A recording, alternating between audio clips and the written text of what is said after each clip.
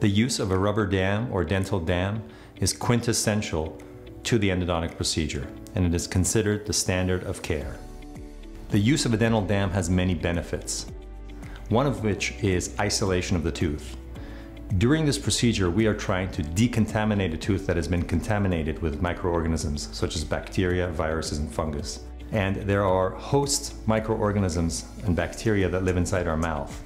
And we do not want to allow those bacteria via the saliva to enter the tooth. So the rubber dam will help you isolate the tooth and prevent contamination of the tooth that we are trying to decontaminate.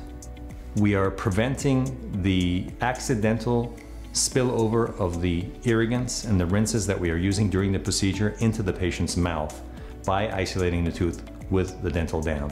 Some of the other benefits of the dental dam are better visualization of the tooth, eliminating the obstruction of the tongue and cheek and the mucosa.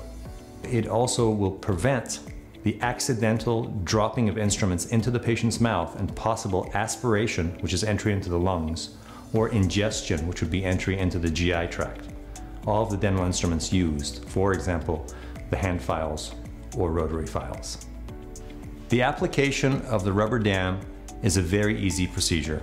The rubber dam is first applied to the frame. A hole is made via the hole punch in the center of the rubber dam.